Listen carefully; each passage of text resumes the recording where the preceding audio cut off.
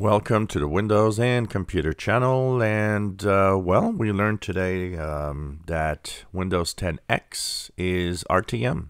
Yep, it's released to manufacturer. This is a term that Microsoft doesn't want us to use anymore, but it's still pretty much what's happening.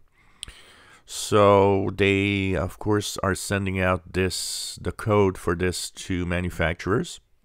RTM means that manufacturers now have this that they can actually test on their own devices. And uh, what we learn is that uh, low to mid-range laptops will be uh, released with this.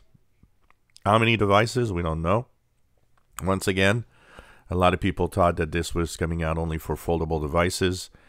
Well, it's maybe at some point it will, but right now it doesn't, and it's single screen devices, which means uh, low to mid-range tablets and uh, laptops that will get this. It's coming out in 2021 in sometime like in March or April. Uh, right now, manufacturers are going to, of course, see what devices they're going to put this on. And eventually, apparently next year, we should see some laptops and tablets with this on it. Uh, Windows 10 X is a very slimmed down version of Windows 10. It is different in its way of updating, also very streamlined, uh, a little bit like uh, your smartphone rather than being uh, the full operating system. And it's interesting to see that it's finished according to Microsoft in that now it's bug fixing time. So the reason why it's finished but they're not releasing it now is because the next couple of months will be simply updating the system with bug fixes to have it working. So this is uh, going to be interesting uh, to look at, and it's going to be interesting to see what uh, comes out of uh, all of this. And um, the fact that it's now uh, finished also might uh, give us another pointer for Windows 10 is that um, a big chunk of Windows 10 engineers um, were actually working on Windows 10 X.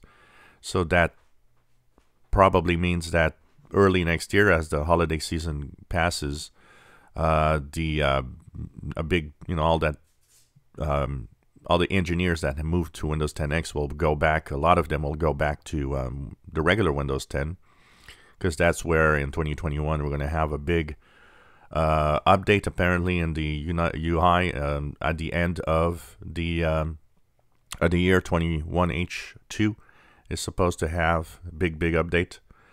So um, this is going to be interesting. So it's finished apparently, and uh, it should be, of course, at the start not running Win32 apps, unfortunately, which I think is a mistake. They should have, they should have, if they had to release this, they should have done it and and you know taken the time to have this um, shipped. Uh, I don't know why you know Microsoft has such an urgent urgency to actually update this like this, uh, because uh, I mean uh, they you know could have waited a little more, and I don't think it would have changed anything.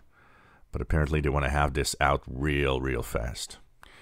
If you enjoy our videos, please subscribe, give us thumbs up. Thank you for watching.